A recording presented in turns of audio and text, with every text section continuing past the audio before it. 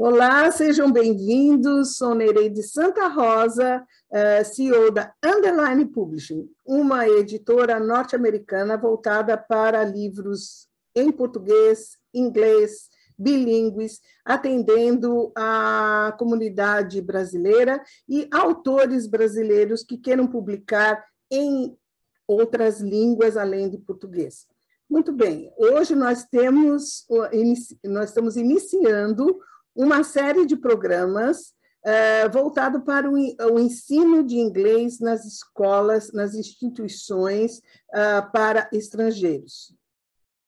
Uh, qual a contribuição dos livros para esse ensino? Essa é questão que nós vamos discutir, vamos conversar, e temos aqui os nossos autores e o CEO de uma instituição uh, de ensino de língua inglesa em New Jersey, no estado de Nova York. Muito bem, eu vou chamar o CEO da Global Amazon School, Paulo Amazonas. Olá, Paulo. Olá, Neide, bom dia. É um prazer estar aqui com você, participando desse primeiro episódio aí, desse, dessa série de, de entrevistas, né? E agradecer também a participação dos amigos aqui, Sandro, Lorena, Paola, irão contribuir bastante aí com, com essa entrevista. Isso aí.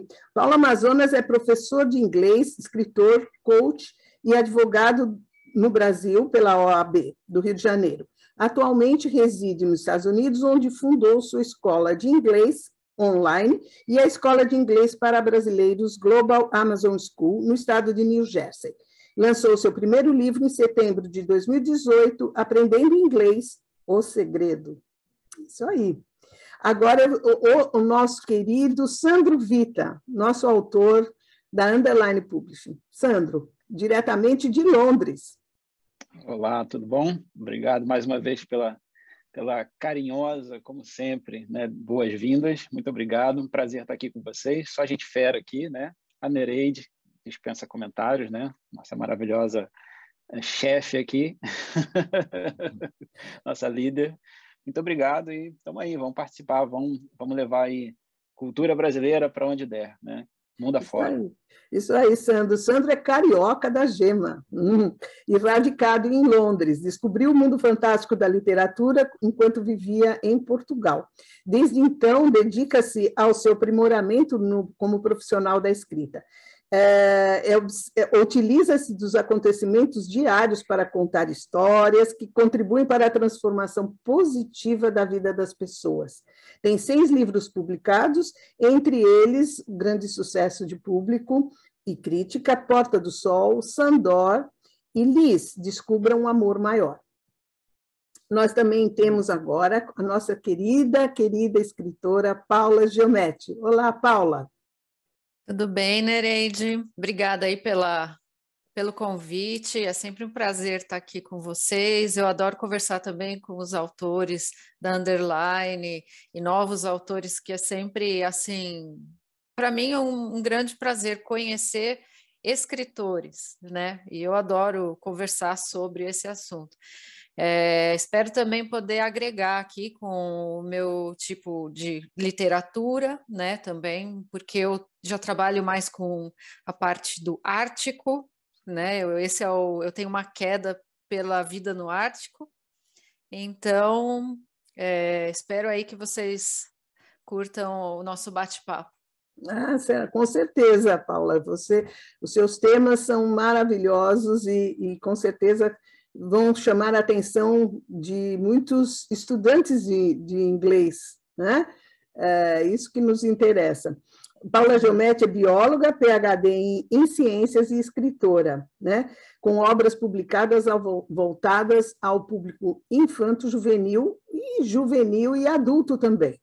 É, ela, aos 11 anos, foi considerada a escritora mais jovem do Brasil, com a publicação Noite ao Amanhecer, publicado pela Cassandra Rios. Escreveu a série Fábulas da Terra, composta pelos livros O Destino do Lobo, Código das Águias e O Chamado dos Bisões, onde histórias de vida selvagem são narradas num contexto por volta de 16 mil anos, na questão da domesticação uh, dos animais quando começou a acontecer.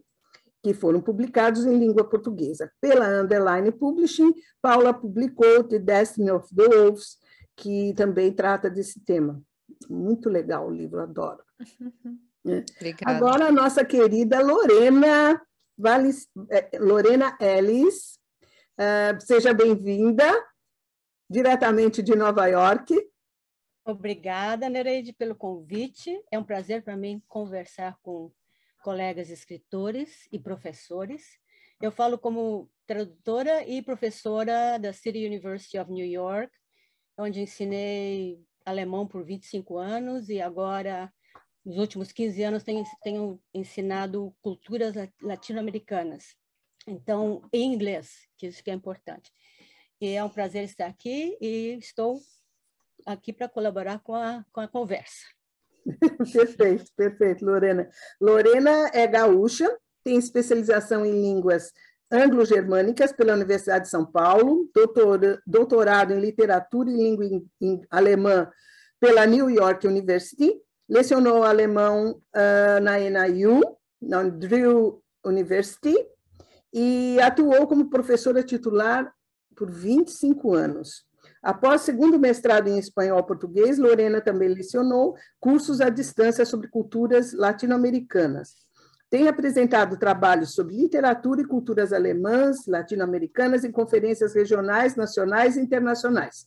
Publicou Brecht Reception em Brasil, artigos em revistas indexadas e traduziu os livros de Antônio Pedro Tota, The Seduction of Brazil, pela uh, Texas Press, e The American Amigo, pela Underline Publishing, que é, nós vamos conversar sobre esse livro aqui, que é um tema muito interessante sobre a relação entre Brasil e Estados Unidos e o papel de Nelson Rockefeller uh, nesse contexto. Muito bem, nós vamos iniciar assim uma rodada para a nossa conversa, eh, iniciando com o Paulo. Paulo, conte-nos sobre a sua instituição, quando, como foi criada, os seus objetivos, como é que funciona, conta para a gente tudo. Paulo. Vamos lá, Nereide. É, tudo começou há mais ou menos há 40 anos, há 40 anos, né? Foi quando eu comecei a estudar inglês no Brasil ainda, garoto de 8 anos de idade, 8, 9 anos de idade. E quando me apaixonei pelo idioma inglês, sem saber que um dia eu viria morar aqui com meus pais, um pouco mais de oito anos depois.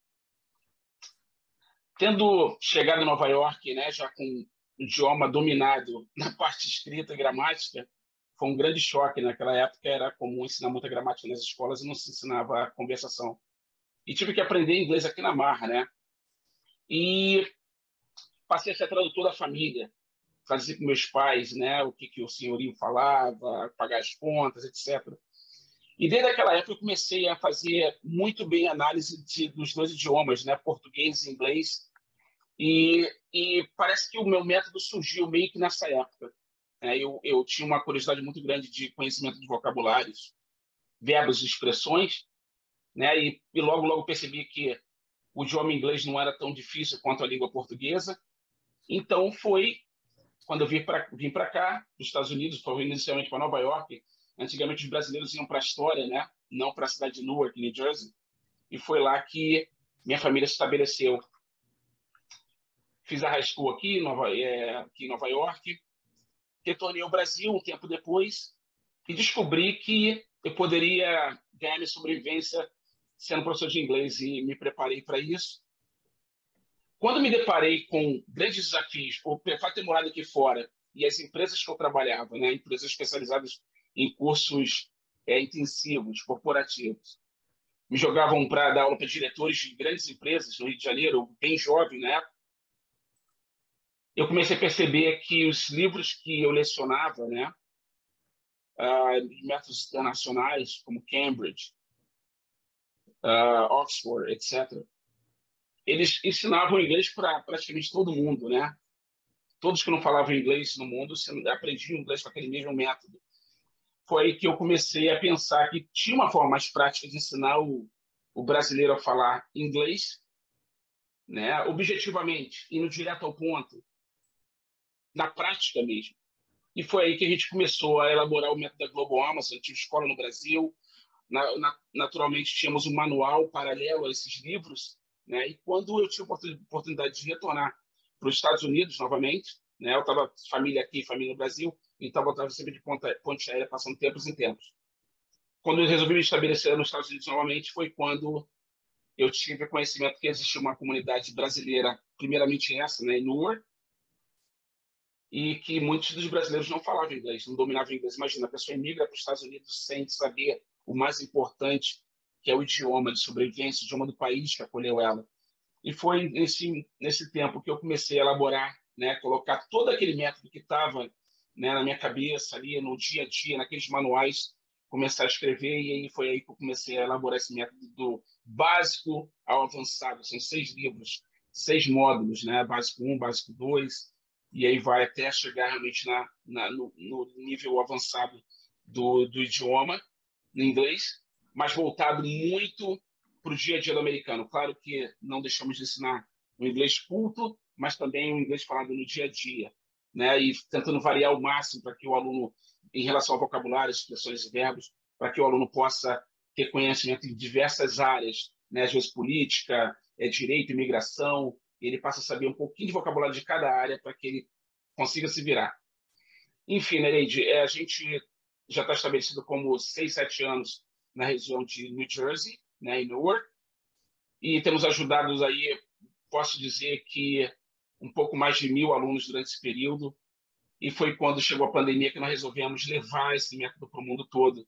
Um grande desafio, né, adaptar um pouco para a chegada no Brasil, e depois acabou ganhando o mundo. A gente tem alunos hoje no mundo todo fazendo inglês com o método MEGA, né, o método da Global Amazon, e professores treinados aí em várias partes do mundo, professores brasileiros. Para finalizar, o meu curso ele é voltado apenas para brasileiros. Né? O nosso foco é esse, é transformar o Brasil, o brasileiro, num, num país bilíngue. Esse é o maior foco, o objetivo. E falando em objetivos, o meu objetivo principal é transformar a Global Amazon na mais escola do Brasil, mas não deixando ninguém de fora.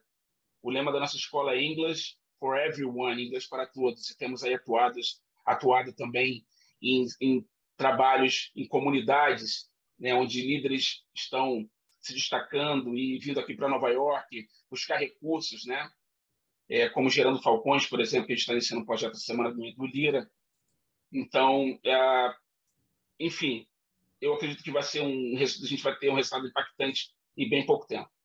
Isso é maravilhoso, porque você uh, atinge um grande número de brasileiros, né? E, e o resultado está sendo fantástico, porque você começou a crescer, viu que uh, o desenvolvimento é, existe, que existe essa demanda, né?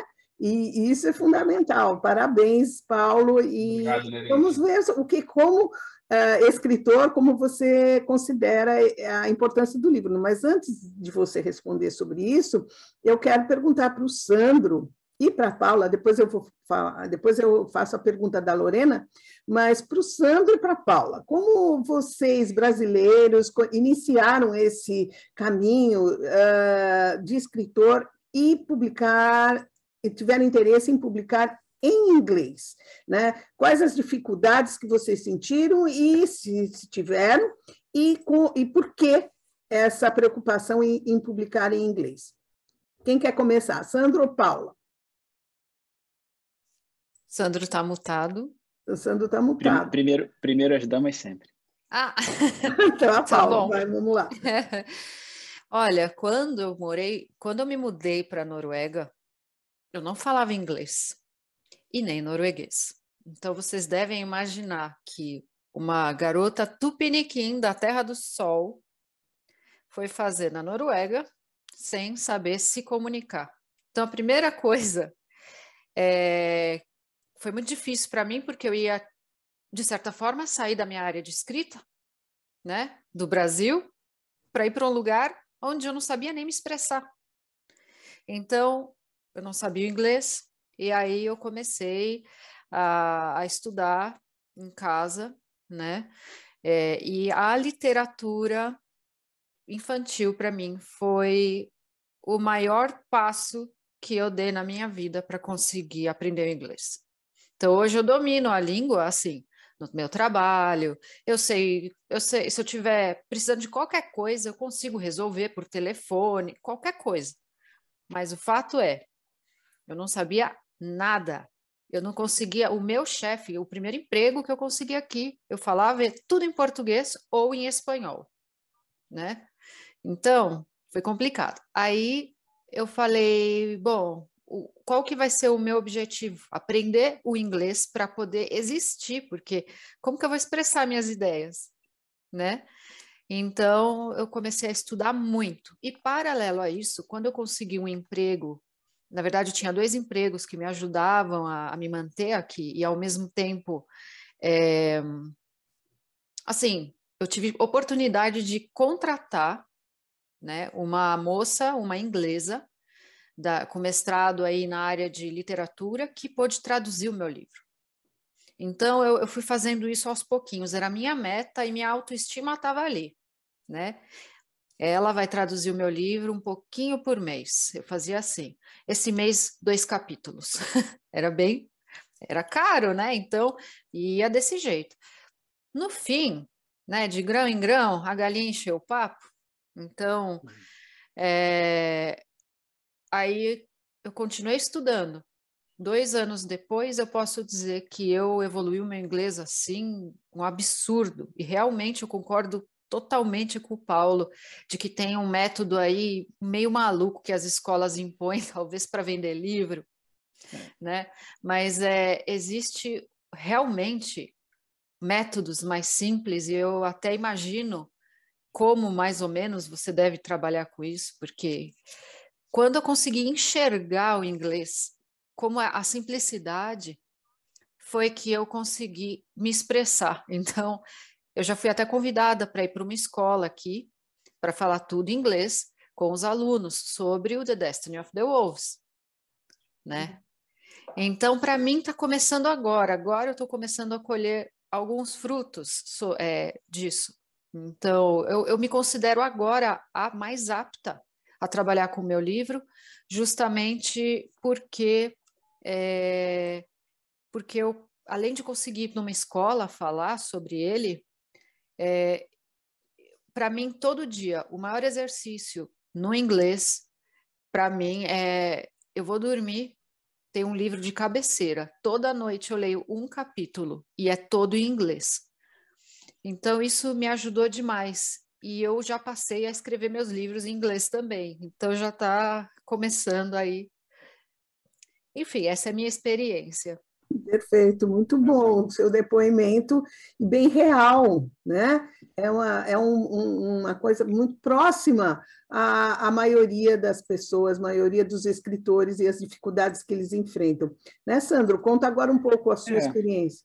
Vou falar assim, vou, vou, vou falar uma coisa que provavelmente vocês já sabem, a minha experiência é muito próxima da Paula. Né? O Paulo, com certeza, já deve ter ouvido falar disso, porque eu acabo trabalhando junto com a comunidade brasileira aqui também, por, por outros, outras razões, e vou, vou chutar um número aqui, mas 90, 95% das pessoas que vêm morar fora né, não sabem inglês. Né? O nosso país lá, o Brasil, ele ainda é um pouco devagar no ensino do inglês. Né? A gente sai de lá sabendo cinco cores básicas em inglês e contar até dez no máximo, né? Ou o verbo to be, né? O verbo to be por cinco anos, né? A por gente estuda. Anos. Eu cheguei aqui, eu morei em Portugal durante três anos quase. E lá eu tentei fazer um curso de inglês também. E por conta desse método que só quer vender livro, livro, livro, eu voltei a estudar de novo o, o verbo to be de novo em Portugal durante três anos. E quando eu cheguei em Londres, só para ter uma ideia, muito próximo do que aconteceu com a Paola, com a, com a Paula, é, quem fez a minha entrevista de trabalho aqui foi a minha esposa. Ela sempre falou inglês muito bom, ela já chegou aqui falando quatro idiomas, né, inclusive o alemão, né? E, enfim, é, eu, eu não sabia, eu sabia falar muito pouco, muito, tinha aquele medo, né? Eu acho que pior do que você saber falar, você ter vocabulário para falar é aquele medo que você tem de falar errado, a pessoa vai me corrigir, né? Aquela coisa. Existe um, uma coisa em volta né, do, do medo de falar. E a minha esposa que fez a minha entrevista, ela que negociou o salário para mim, ela que negociou os dias que eu ia trabalhar, porque eu não sabia falar, eu não sabia existir, como a Paula falou, né? Era muito difícil. E eu sou uma pessoa muito comunicativa. Eu falo com mão, eu falo com, com o olhar, eu, falo muito e falo mesmo. E pra, quando eu cheguei aqui, em 2013, isso para mim foi uma, uma barreira desesperadora. Eu queria ir num, num, num, mercado perguntar se tinha um tipo diferente de leite, eu não, não conseguia me expressar. Eu queria ir num, restaurante pedir uma coisa diferente, olhava o cardápio e ficava apontando, sabe, fazendo gesto para tentar dizer o que eu queria. Então foi muito ruim, muito ruim. E o que me, me levou a, a, escrever em inglês, né, foi exatamente essa dificuldade também, né? Porque como é que eu vou vender livro em português se eu moro num lugar onde quase ninguém fala português. Naquela época, então, eu quase não tinha contato com a comunidade uh, brasileira. Hoje eu tenho, hoje eu sei que aqui nós temos quase 400 mil pessoas que são brasileiras, né? fora a comunidade portuguesa, portuguesa e angolana, mas eu não tinha esse conhecimento. Então, eu tive que achar uma maneira de levar o meu produto para o meu público, né? E vários amigos que depois eu comecei a fazer no, nos primeiros anos, né, principalmente, depois que fui aprendendo inglês, eu tive uma pessoa também que me uh, sentava comigo todo dia no final, né, no final do, do expediente de trabalho para tomar uma cerveja, ele ficava me ensinando entre uma cerveja e outra a falar bem o inglês, né? Hoje eu já domino, posso dizer que domino o inglês com bastante precisão, tanto escrito quanto falado, né? Não, não é mais um problema, demorou um tempinho, mas eu cheguei lá. E os livros também né, vieram nesse sentido, né, de conquistar esse público. Uh, já dei palestras em inglês, completamente em inglês. Já dei várias entrevistas sobre o, o, Sandor, né, falando sobre a história do livro. Já estive na BBC, foi um, um privilégio estar na BBC falando com o público direto, público inglês. Então, quer dizer, uh, o, a, a, versão que existe do livro em inglês foi necessária uh, para poder chegar no meu público-alvo. Né? Como eu estava definido com a minha família que a gente ia ficar morando fora do Brasil, em Londres, né, no Reino Unido, eu tinha que encontrar uma maneira de trazer o meu produto para o mercado de cá. E foi muito difícil realmente traduzir o livro, porque ele foi traduzido uma primeira vez, eu gastei uma fortuna, e ele foi traduzido. Né? E traduzir um livro é uma missão que exige um profissional adequado, né? porque você não pode traduzir. Acho que o segredo é você criar uma versão em inglês né? ou no, no outro idioma. Acho que é o Carlos Borges que, que, que, falou isso comigo um tempo atrás, lá em Milão, quando eu tive com ele, num, num evento da Focus Brasil, ele estava citando alguém dizendo que não existe tradução de, de, de obras de arte, existe uma, re, uma, uma, uma, releitura, né? uma criação de uma, é, uma nova edição. Né? E exatamente isso. O livro Porta do Sol, para você ter uma ideia, a maioria das pessoas, uh, uh, quando chegavam aqui, falavam, ah, como é que é o, o título do seu livro em, em inglês? E aí eu falava naquela época que era The Gates of the Sun. Né? Aí o pessoal fala assim, ah, é um portão, né? Onde tem, onde o sol passa. E eu não conseguia transmitir a ideia de que Porta do Sol, na verdade, é uma teoria, é um conceito, é um pensamento. E aí, depois de algum tempo conversando com as pessoas, eu expliquei isso, né, bem, o fundamento do Porta do Sol, e um dos ingleses aqui falou, ah, no mesmo sentido de sunbed, onde você, né, é sunbed para é cadeira de, de, sol, né, onde você recebe o sol. Eu falei, é, mais ou menos isso. Aí explicando ele, ah, então é sandor, tipo, é né, um, um espaço onde você recebe aquela iluminação, onde você alcança uma, né, um conhecimento ou, ou recebe uma oportunidade. E aí você vê, né, de Gates of the Sun para Sandor. Quer dizer, é, o, o, sentido completamente diferente quando você entende o inglês, né? Mais nativo. E principalmente aqui na cultura britânica, né, esse significado das coisas assim, eu acho que na, na, na americana também, mas aqui às vezes o pessoal é um pouco mais tradicional, talvez, dentro do inglês, não sei se, se é verdade, mas às vezes eu, eu percebo isso. Estou conversando às vezes com o pessoal dos Estados Unidos e, e, e sempre rola essa diferença. Ah, mas por que Sandor? É, qual, qual que é o significado? Eu tenho que explicar né, o sentido da coisa. A pessoa, ah, peguei, boa. Então, para mim, foi esse. A necessidade foi essa, de atingir o meu público-alvo, né? E a dificuldade foi imensa, tanto financeira, foi muito caro traduzir, mas valeu a pena. Valeu a pena, né, Sandro? É um sucesso, o seu livro é um sucesso, e, e, e você fez uma uma nova versão, né? Fez uma revisão antes de nós publicarmos Exato. a Underline, então. É, a primeira versão foi uma tradução e ficou muito ruim. Eu mesmo, quando comecei a ler, eu já tinha um pouco de noção de inglês e achava que tinha alguma coisa errada. E aí pedi pessoas, várias pessoas, para lerem né, o livro e chegaram para mim e falaram: Sandro, ó, tá bom, mas podia estar tá melhor. E aí eu levei para um, uma pessoa que ela é original aqui da, da Inglaterra, né, é nascida aqui, e ela tinha os pais, uh, uh, um dos pais era brasileiro. Então ela aprendeu a falar português muito bem, ela, ela é formada em literatura portuguesa uh, brasileira, né? E, e, inglesa. Então ele ele ele é, é, o dia a dia dele. Ele traduz livros do português para o inglês, do inglês para o português e assim criando novas versões. Ele só trabalha com, com livros, né? Que é o, o, o, o Reginaldo. E enfim, Regis. E ele fez uma tradução brilhante, né? Eu peguei o livro, o Sandor depois e coloquei na mão de pessoas que eu não conhecia. Tipo, levei e falei: "Olha, eu tô, esse livro é de um amigo meu, lê para mim e me diz o que, que você acha". E a pessoa leu e falou: "Olha, gostei muito da história". Eu falei: "Tá, não quero saber da história, quero saber do, do idioma, tá bom? Tá, tá bem escrito?". Para mim tá ótimo. Para mim eu sou muito chato, tá ótimo. Teve um professor de Cambridge que elogiou a tradução, né? Falou: "Olha, parabéns, tá, tá muito bom". Então, no final das contas, valeu a pena, né? Exatamente. Paguei, mas foi, valeu a pena. Foi ótimo. E agora, falando, como nós estamos falando de tradução, é, nada melhor do que a nossa querida Lorena uh, comentar sobre essa, esse trabalho, essa, esse desafio que é a tradução de livros, né, de português para o inglês, e, e sobre a importância dessa tradução ser bem feita, claro, e como é importante para os autores brasileiros esse, essa, ter esse cuidado em todo esse processo, né? Lorena, fale um pouco agora sobre o que você faz muito bem. Ok, eu, diferente de vocês, o Sandro, a Paula e o Paulo, eu vim para cá, para Nova York, já com um bacharel em alemão e inglês da USP. Quer dizer, eu achava que o meu inglês era muito bom, mas chegando aqui a gente percebe que realmente tem muito a, a polir e melhorar.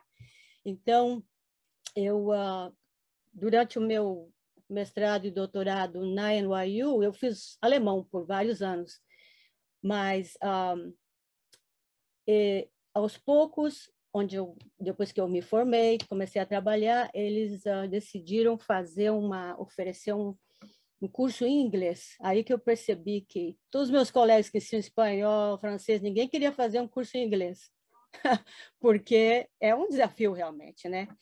Então, e foi um, essa, essa, esse curso de culturas latino-americanas foi realmente um desafio que eu encarei e estou feliz que eu fiz porque me abriu grandes oportunidades. Agora, eu acho realmente muito importante que autores brasileiros sejam traduzidos, principalmente para o inglês, que é uma língua global, para a disseminação mundial dos textos brasileiros, que um, não só de, de autores famosos já, que já foram traduzidos, mas para outros que não tiveram o luxo de serem traduzidos. Como diz o Sandro, né? é realmente caro, não tem dúvida, é caro, é um luxo, e, e a tradução é um trabalho árduo.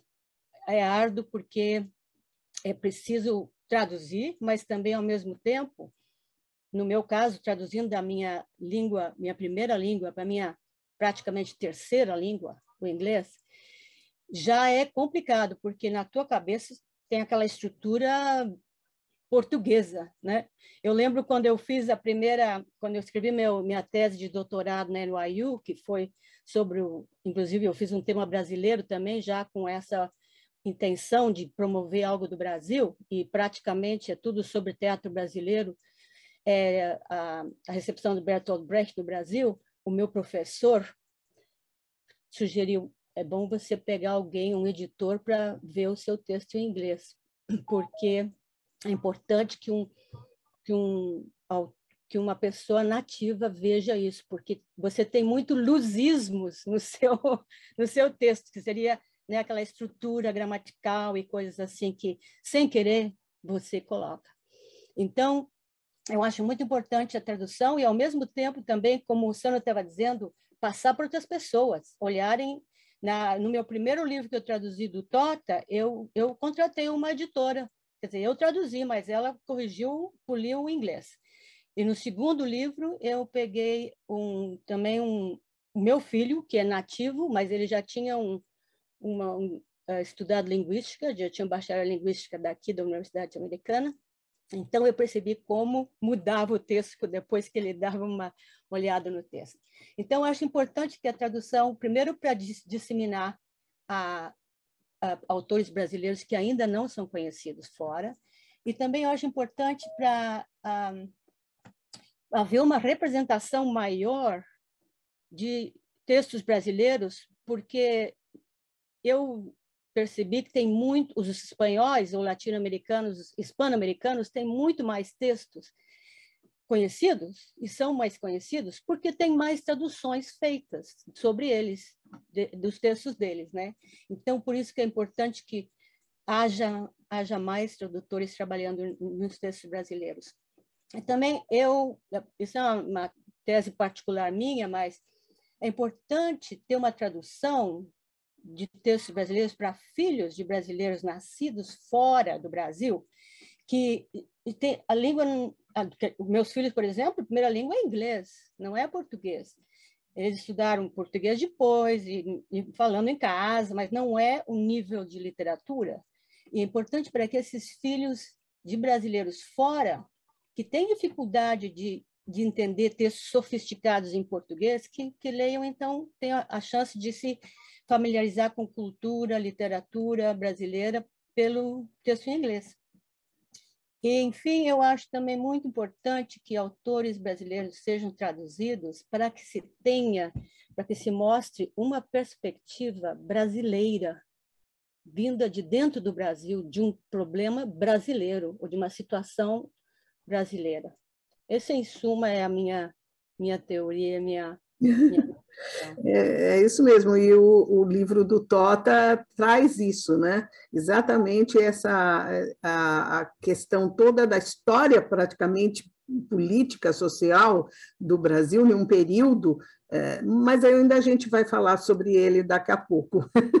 né? Eu me entusiasmo com cada, cada livro que a gente publica mas eu queria saber do Paulo. Paulo, depois que você ouviu nossos autores, uh, e também sendo escritor, né, uh, o que, que você considera, como você vê o uso dos livros, né, no geral, inclusive publicados pelo mercado editorial, não só pela Underline, no ensino da língua inglesa? Como você vê isso nos, com os seus alunos? Primeiramente, eu estou aqui espectador e sabe uh, impactado com as coisas que eu tenho ouvido aqui do Sandro, da Lorena, da Paola, assim da experiência deles e do trabalho que eles têm feito, sabe, é algo assim apaixonante. E não vejo a hora dos meus alunos terem acesso a esse material, né? Porque realmente é algo que que impacta as pessoas, né? Uh, em relação à questão do, da, de adotar, adotar esses, esses, materiais, esses livros né, editoriais, eu acredito que seja de extrema importância. Né? A, gente sei, a gente sabe que tem, existem livros, é, os readers, né, que são especializados ali é, para leitores de segundo idioma, né, pra, mais pra, voltado para níveis né, de alunos básicos, mediário avançado, mas também os livros de vocês que são livros que a partir do nível intermediário, eu acredito, já, as pessoas já conseguem ler e conseguem praticar né, o seu inglês através dessa leitura. Ah, sem contar a questão cognitiva, que é muito importante no aprendizado do idioma, mas principalmente né, pelo fato do aluno aprender novas expressões, novos verbos, né, o vocabulário, ampliar seus vocabulários. E, e o bacana da leitura é que o aluno, naquele momento, ele está ele tá tão envolvido né, com aquela história, que ele não consegue, ele não para pensar na questão gramatical, né? Ele vai lendo naturalmente. Então essa fluência, né, na hora do pensamento, né, da, do raciocínio, na leitura, é algo extraordinário para o aprendizado, né? Então eu sempre oriento meus alunos o hábito da leitura, o hábito da leitura. Quer dizer, não só não só em inglês, né? Qualquer pessoa que lê, qualquer pessoa que tem hábito da leitura, ela ela passa a ter mais conhecimento. E no inglês, não tenha dúvidas, Nereide, que é algo que tem que se colocar em prática o mais rápido possível para que os alunos possam né, acelerar esse processo de aprendizado. Eu mesmo é, tive é, é um pai leitor, meu pai era jornalista, empresário também, e com 11 anos de idade ele me deu um livro chamado A Lei do Triunfo de Napoleão Hill, dois volumes enormes, eu me imaginava como é que eu ia ler um livro daquele, hoje eu sei o, o porquê ele estava implantando. Primeiro que ele me deixou muito novo, ele foi embora, né, ele faleceu, eu tinha 18 anos de idade, mas deixou um presente maravilhoso, que é o hábito da leitura. Né, e eu estou me passando para meus filhos. Enfim, parabéns a todos vocês pelo, por essa contribuição que vocês têm dado aí para não só para a comunidade brasileira, mas também para a literatura inglesa, tá bom? Nossa, é ótimo. Você viu como a, a Paula diz que lê todo dia tá, uma, um capítulo, né? É, para ficar sempre atualizada. Enfim, o, a, o hábito da leitura é fundamental né? Porque a questão no ensino do inglês não é só aprender vocabulário, e sim a interpretação do texto, perceber todo o contexto do, do texto, né? A ideia, o tema, como o, o autor construiu as frases, as palavras e como ele, ele elaborou isso de, de, de forma que, que seja entendível. E, e além disso, o, o livro atrai, atrai pela, pela história, né? pelo interesse da história. Então, não é um, uma coisa distante. Você tem aqui, uh, por exemplo, o livro da Paula. O, o, livro da Paula traz uma história, uh, uma lenda, uh, tem um fundamento. Eu quero que a Paula conte um pouco sobre o livro dela. Vamos, Paula, conta aí. The Destiny é... of the Wolves. Pode mostrar, pode mostrar. Pode. É que eu, deixei com desfoque, eu espero que apareça. Uhum. Peraí, tem que ser perto do põe, rosto. Põe na sua talvez. frente, põe na sua frente Aqui? que aí aparece. É isso. Aí, certo. Uhum. Então, esse livro aqui, é... muitas vezes eu uso uma pergunta para poder resumir o assunto. Como surgiram os cães? Né? É, muitas vezes a gente tem lá o nosso cachorro em casa, mas nunca parou para pensar como que ele foi parar ali, né? Em questão de ancestralidade. Nos meus livros eu trago muito a ancestralidade, né? Então, o, no The Destiny of the Wolves, é, eu falo um pouco assim dos lobos que enxergaram nas auroras boreais os antepassados deles. E os antepassados emitiram um grande uivo que fez com que os lobos entendessem um significado ali nas entrelinhas de que ele estava em perigo, né? E o perigo seria o destino deles. Porque esses lobos, eles escutam esse grande uivo há 16 mil anos antes de Cristo, né? Ou, assim, a ciência diz que é por volta de 16 mil anos, 18 mil anos, né? Tem uma margem de erro um pouco grande até. Mas esses lobos, eles não tinham noção do que o homem era a não ser um caçador nesse período, né? Só tinha a temer o homem.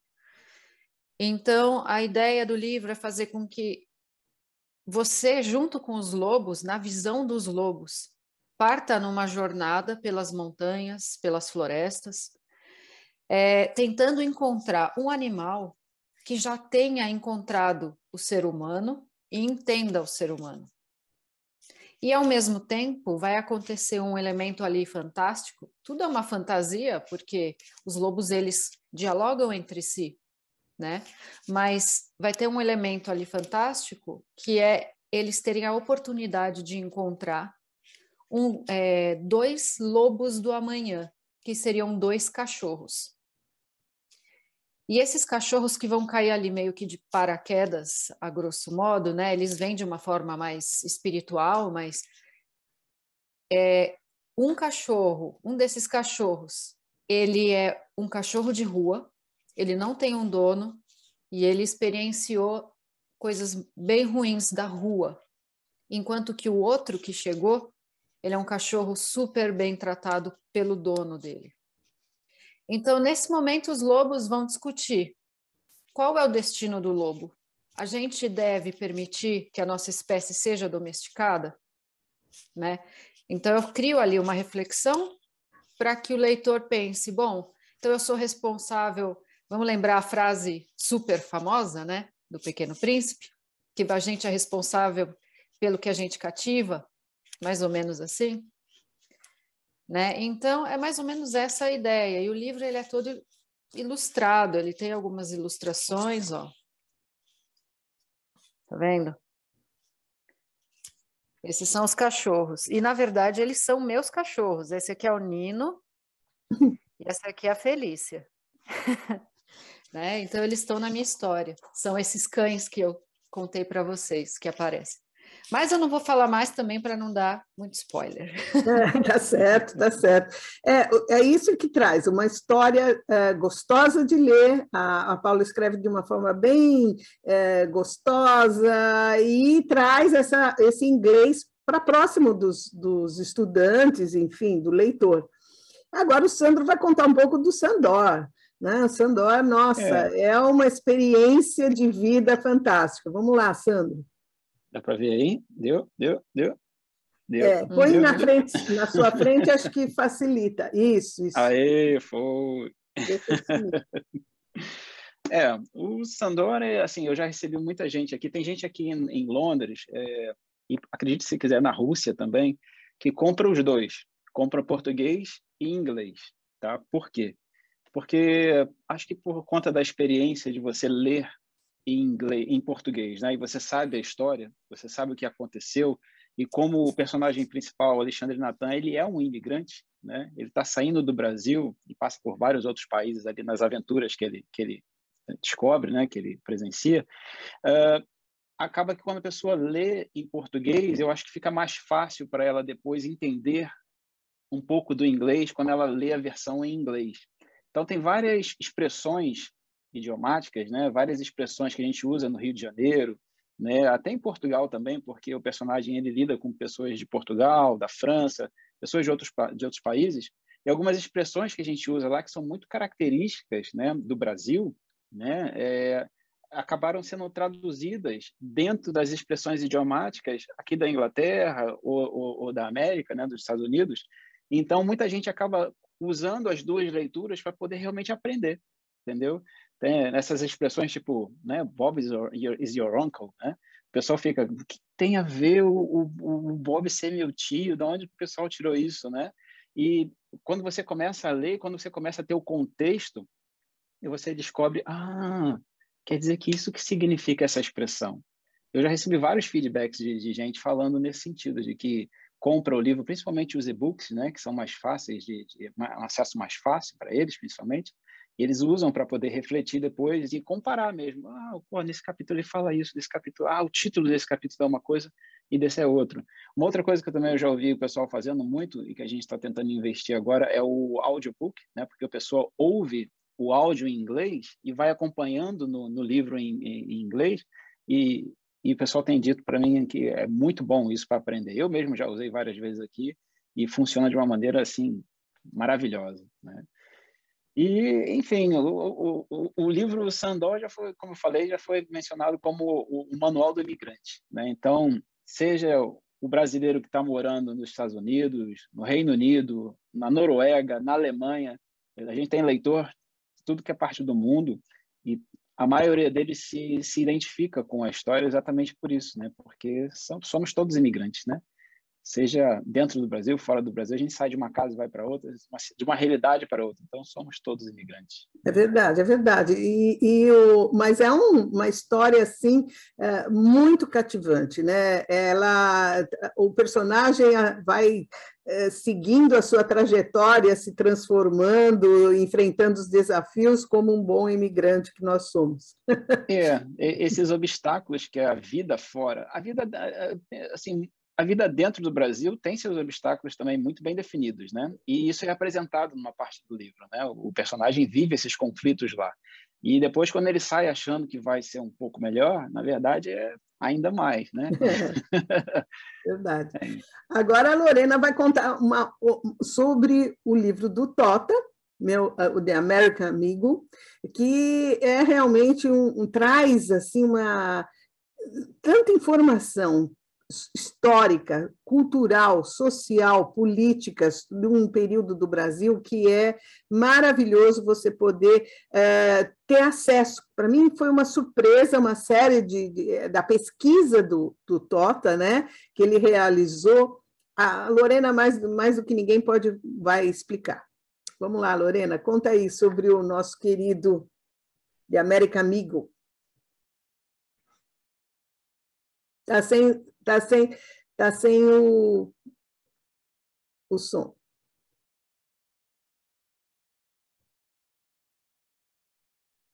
Tá bom, ok. Então, o, o livro The American Amigo, Rockefeller and Brazil, é a tradução literal do texto.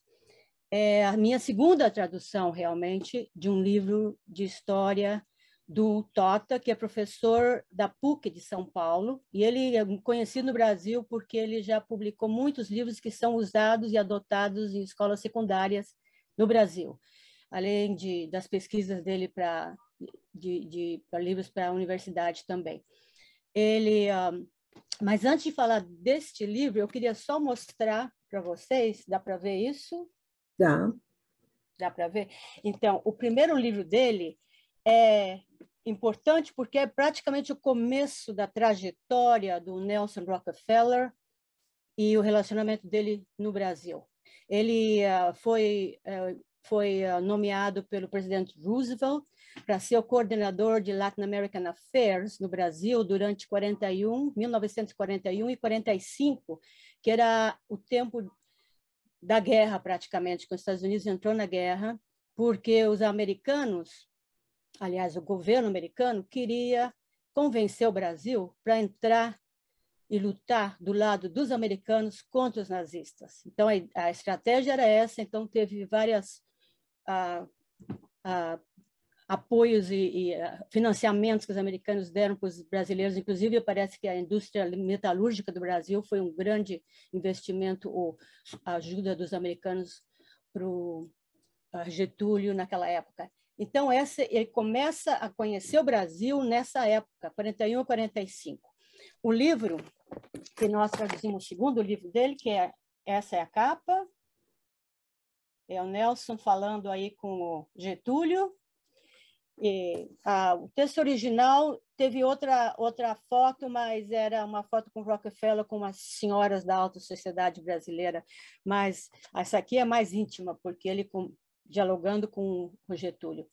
Então, o amigo americano começa, então, no fim da guerra, 45 até mais ou menos começo da ditadura militar em 64 no Brasil. E o, o Nelson já não é mais o representante do governo americano. Ele vai como cidadão e leva amigos ricos dele para lá, pessoal do Chase Manhattan e outra gente, para continuar o trabalho que ele, de uma certa forma, já tinha iniciado durante esse primeiro período. No primeiro período teve muito troca de filmes, ele trouxe cantores brasileiros para os Estados Unidos, levou gente dos Estados Unidos para o Brasil para mostrar a cultura americana para os brasileiros. Teve tanto que o primeiro livro também poderia ter sido traduzido como a americanização do Brasil, ou algo assim porque teve muito intercâmbio cultural nessa época e foi o motivo porque eu me traduzi, eu traduzi esse livro, me interessei por causa da cultura, do aspecto cultural. Então, nesse segundo livro uh, dele, é, ele vai para o Brasil, o Nelson, e, e tenta influenciar vários aspectos da, da vida brasileira, tanto econômica, abrindo instituições de crédito, tanto a parte de urbanismo. Ele levou, levou gente especialista daqui de, Nova York, um famoso chamado Moisés, uh, Ro, uh, Moisés, como chama? Um urbanista que fez várias mudanças aqui em Nova York, levou para São Paulo, inclusive fez várias uh, mudanças dentro da cidade que até hoje ainda são visíveis e tra trabalhou com agricultura, levando espécies de porco para o Brasil, ou, ou espécie de sementes melhores de milho e coisas assim. Grandes influências, levando tratores, John Deere, coisas assim. Muita influência que até hoje na agricultura brasileira se vê a modernização que o Nelson começou na, na década de 50, praticamente. E nas artes também, né? É, então, então, isso que eu ia chegar lá agora. Nós temos no Brasil tantos mais uh, museus, por exemplo, o MASP de São Paulo, o MoMA do Rio de Janeiro, foram tudo coisas que o, o Nelson ajudou a abrir, levou obras de arte para lá para serem expostas e, e, e ficarem, e, ou talvez empréstimo. Além do mais, eu acho que também foi importante nesse, nesse nosso trabalho, uh, nós, os tradutores, o Roberto e eu, nós nos esforçamos em manter o estilo original do autor, que é um estilo muito agradável. Ele é como um contador de histórias, um estilo leve, mas ao mesmo tempo apresentando fatos históricos pesquisados, confirmados, de uma forma muito interessante, revelando até intrigas que aconteceram por trás dos bastidores que às vezes não se conhece, né? É, é impressionante o material que o Tota, o autor, um, pesquisou, onde ele trabalhou em vários lugares, inclusive esteve aqui nos Estados Unidos com uma bolsa da Fulbright, trabalhou em Washington D.C., trabalhou aqui em Nova York nos, nos arquivos do Rockefeller e então ele um, realmente tem uma vasta experiência, tanto da cultura, não só Brasil, Estados Unidos, mas também da Europa. Tanto que ele, por causa da Segunda Guerra Mundial, tem muita referência relacionamento Brasil-Europa, Brasil-Estados Unidos. Então, um triângulo de, de informação histórica por trás disso. E também o, no livro de América Amigo, além de o autor relatar as atividades do Nelson Rockefeller durante duas décadas no Brasil, ele também faz referências a várias intrigas e acontecimentos históricos internacionais entre Brasil, Estados Unidos e Europa. Então, é basicamente isso. Mas eu acho que é interessante o, o, o meu interesse em traduzir esse livro começou quando eu estava fazendo meu segundo mestrado em português e espanhol e o Tota tinha acabado de escrever o manuscrito do primeiro livro e ele me mandou o manuscrito. E eu, fazendo um curso de cultura latino-americana na NYU, é, eu falei, professor, eu posso fazer uma resenha dessa, desse manuscrito que não saiu e tal? Ele falou, ah, faz, seria parte do meu trabalho, né? Aí eu fiz, mandei para o Tota e ele, ah, não, você vai ter que traduzir isso, você vai ter que traduzir. e começou a me perturbar desde, nem tinha saído o livro no Brasil ainda.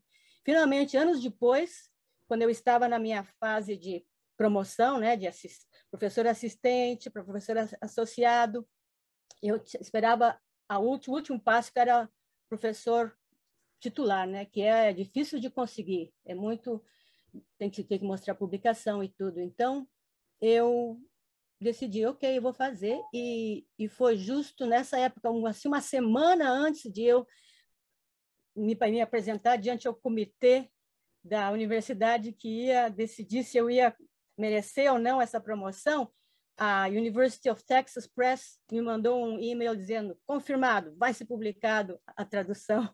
E graças a isso eu recebi, eu acho que a minha promoção para full professor, que é em agradecimento ao, ao Toto, porque na verdade isso foi um trabalho de de de amor, eu vou dizer, porque eu não cobrei nada dele. Foi tudo na base do eu aprendendo sobre isso e também recebendo essa promoção. É verdade, foi. E nós aqui é que agradecemos, né? Ah, o público e, e nós aqui ficamos felizes de poder ter esse livro no nosso catálogo e os leitores terem acesso. O Paulo vai falar um pouquinho agora sobre o seu próprio livro, o seu método que você defende no. Qual é o segredo aí desse seu livro aí? Vamos lá, Paulo. Vamos lá, Neide. Eu não estou com nenhum exemplar aqui, né? Ele foi a última versão foi lançada no Brasil, mas eu tenho uma foto aqui do material, então já tem uma, só tem uma noção Beleza. de como é a capa ali. Na verdade, Nereide, é, eu tenho seis livros didáticos, né, que, que retratam a metodologia, mas a ideia de lançar esse livro foi um outro propósito. né, foi mostrar para os alunos ao longo da minha caminhada como professor quais eram as maiores dificuldades que os alunos tinham para aprender inglês. Né? E eu comecei a colocar em vários capítulos essas dificuldades. E essas dificuldades, elas não estão diretamente, né, como primeiro lugar, a dificuldade no, do aprendizado, mas sim de se manter focado, assistindo às aulas, afastando as distrações durante o período de curso. Porque é por isso que grande parte dos brasileiros não falam inglês, porque começam o curso hoje, param daqui a pouco. Começa aí, param, depois voltam. E depois param de novo e voltam. E nunca concluem o curso, né? É a verdade é que quando você está focado em aprender inglês, você não precisa nem de curso de inglês ou nem de professor. Você mesmo consegue, se você tiver né, algum recurso, ainda mais com a internet, você consegue fazer seus estudos online. Demora um pouquinho mais, mas você consegue. Então, é justamente isso, né?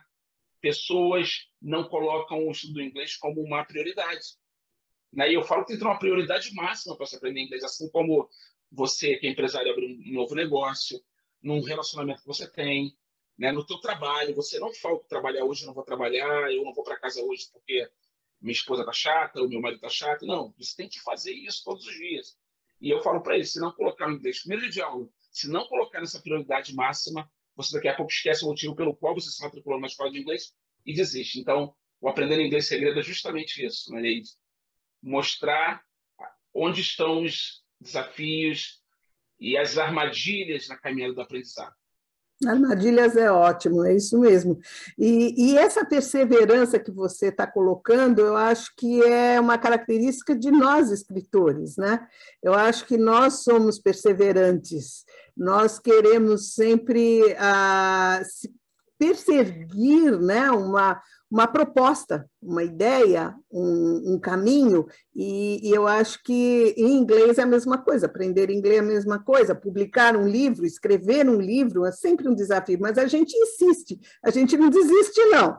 Traduzir Nunca. um livro como a, a Lorena, né, pesquisar como o Sandro, como a Paula, quer dizer, são caminhos que a gente tem que perseguir, né? E, enfim, eu acho maravilhoso a gente poder ter aqui junto um, um, um, propostas tão diversas, mas que ao mesmo tempo todos nós amamos escrever. Né? Então, nós temos aqui um, um livro é, não ficcional, como o que a Lorena traduziu, do Pedro Tota, mas que traz, assim, através de uma linguagem tanta informação, tanta uh, cultura brasileira explicada para o mundo. Né? A Paula trazendo a questão da, do, da natureza, do meio ambiente, da, da questão do, do, dos animais, ela faz uma reflexão, faz a gente pensar sobre essa, essas questões todas da domesticação, será que foi válida, será que não, será que, como é que a gente lida com isso? E o Sandro, que traz um, um, um, tantas uh, mensagens boas, né? o livro dele é muito positivo, nos traz assim um alento, uma esperança através do Sandor, né, Disciplina. Né? esse sol. É. Eu queria que cada um despedisse é, com uma mensagem, que nós daqui a pouco já vamos encerrar. Quem quer começar com uma mensagem? Primeiras damas. Eu começo. Tá. Ah, Lorena, vai. Então, então, eu só queria, antes de encerrar, eu queria uh, dizer que eu estou looking forward, como nós falamos aqui, né? De ver vocês em, em Portugal, em Lisboa, né? E ver os livros, porque eu estou bem interessada em, em lê-los. Mas eu queria realmente agradecer a, por ter sido convidada aqui hoje e conhecer vocês, que é muito importante. E também uh, espero que o tópico do livro do Tota interesse a muita gente. E, como disse a Paula e o Sandro, que tradução é um problema bastante complicado e realmente é uma interpretação nossa do texto do, do texto do autor. E é uma recriação do, do, texto, né? Quando o professor se apresentou aqui, eu convidei ele no primeiro livro ele veio na nossa universidade, conversou com estudantes de história. Ele disse: "Este é o meu livro, mas não são minhas palavras". Então é realmente essa é a coisa. A tradução é uma recriação do, do tradutor. É, obrigada. obrigada, Lorena. Sandro? Olha, minha mensagem é que as pessoas fiquem ligadas sempre, principalmente no Underline. Né? Underline tem aberto portas para vários escritores brasileiros, né? Até, enfim, tem literalmente feito portas do sol, né? Aberto oportunidades para que esses autores cheguem mais longe. Você vê autores como eu, que saiu lá do interior do Rio de Janeiro, né? Tem a possibilidade de estar em Nova York, estar em contato com uma escritora né, brilhante de Portugal, uma tradutora, uma, uma escritora brilhante lá da, da Noruega, né? Enfim, best-sellers, né? Nosso querido Paulo aqui também trazendo informação nesse, nesse, nesse quilate, né? É uma coisa incrível. Isso graças a Underline, né? Eu fui, por muito tempo, uh, uh, um escritor independente, né? E é muito bom ser independente, mas quando a gente tem um selo, né? Que vem ainda mais né, underline, né?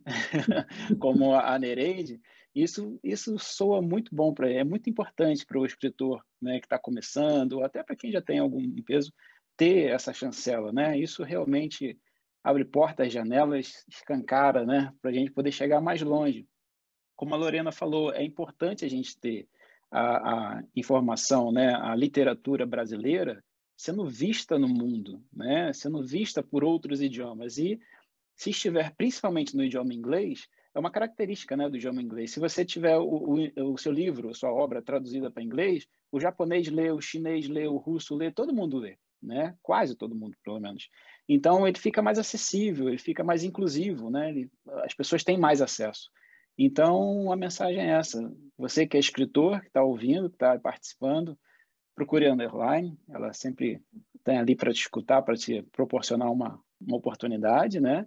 E ainda que não seja por aqui, encontre o caminho, é, amplie seus horizontes, vá mais longe, não se limite ao público brasileiro, não, porque a gente sabe das dificuldades que o nosso povo enfrenta para comprar livro, né? Não é culpa deles, é, enfim, tem várias culpas aí no meio do caminho, mas tente, não, não, não aceite o não como resposta. Vá lá, tenta, é caro, é, arruma um amigo, arruma uma pessoa, né, que queira, que se interesse pelo tema, como a Lorena se interessou, e de repente você vai conseguir ali por um preço especial, uma camaradagem, enfim, corre atrás. Não, não, não aceite o não como resposta.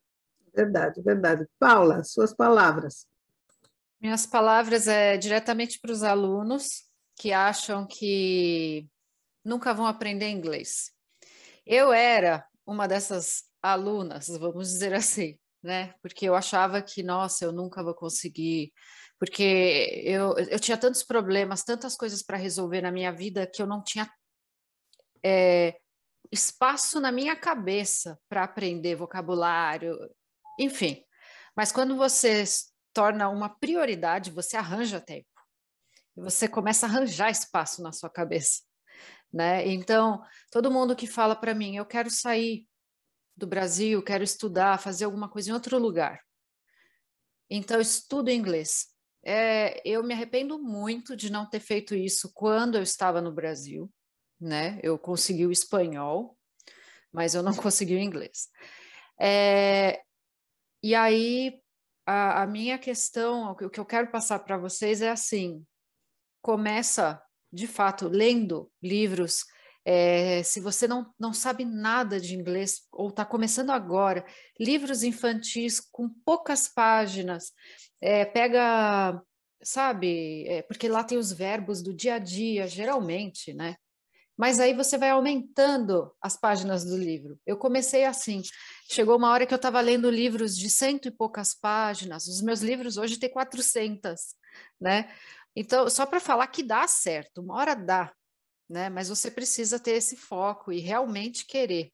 Né? E, você, e o inglês passa a ser tão fácil que às vezes você vai perceber que você aprendeu quando você estiver assistindo um filme, por exemplo, a legenda está em inglês e você nem percebeu.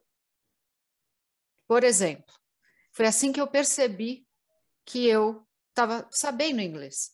Que eu assistia filme em inglês ou com legenda em inglês eu nem percebia, só no final ou no meio, né? Então é, é, isso. Espero que vocês gostem dos do, nossos livros também, porque eles são traduzidos com carinho, com cuidado, e eu acredito que, por exemplo, o meu ele tem uma linguagem fácil. Eu aprendi muito inglês com a tradutora do meu livro. É, e é isso, leiam sempre, não tem outra saída. É e confiem no Paulo. Confie no Paulo. Paulo, suas palavras finais. Obrigado mais uma vez, grato mesmo a Underline e você, Nereide, por no meio de tanta loucura, né, tanta coisa que a gente tem visto nas mídias sociais em relação às coisas fúteis, né, do dia a dia que atraem tantas atenções, você vem aí com a Underline na contramão, é, sabe, e, e, causando impacto, sabe, nos eventos e nesse tipo de, de troca que a gente está tendo aqui agora, que vai impactar muita gente, tenho certeza, através dessas, dessas entrevistas, né? E a mensagem que eu tenho é a seguinte, que os pais, de certa forma, acordem e vejam a responsabilidade que eles têm quando, né, com seus filhos em relação à leitura não tem nada mais valioso que você possa deixar para o seu filho do que o hábito da leitura. Então, comece pelo exemplo. Se você não gosta de ler, né, adquira seu livro através da Underline, dos, dos grandes autores que nós temos aqui, e comece a ler. Compre um livro para você, compre um livro para o seu filho, e, e lidere através do exemplo. Né? Vai ser um grande, uma grande herança, um, um grande legado que você vai deixar para os seus filhos. Essa é a minha, minha mensagem. Isso mesmo, e o nosso trabalho está apenas começando. Nós vamos ir mais e mais, mais em frente, contando com vocês. Muito obrigado pela presença, gente. Agradeço todos esse, esses depoimentos que foram fantásticos. Espero que tenham gostado também. Um beijo a todos. Obrigada. Tchau, tchau. Beijo, um abraço. Tchau. Beijo. Abraço. Fiquem bem. Deus, pessoal.